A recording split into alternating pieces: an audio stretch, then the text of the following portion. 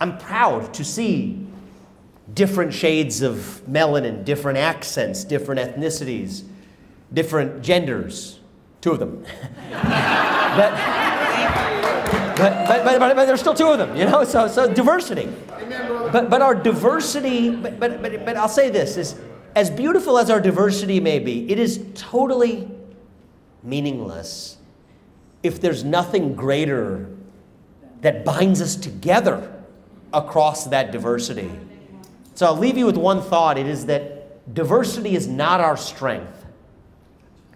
Our strength is what unifies us across our diversity. And I am running to revive those ideals that tell us that we are e pluribus unum from many one. And if you guys help support that mission, Vivek2024.com tonight, whatever it is, you will help make this vision a reality. Thank you. God bless you, and God bless our United States. Thank you.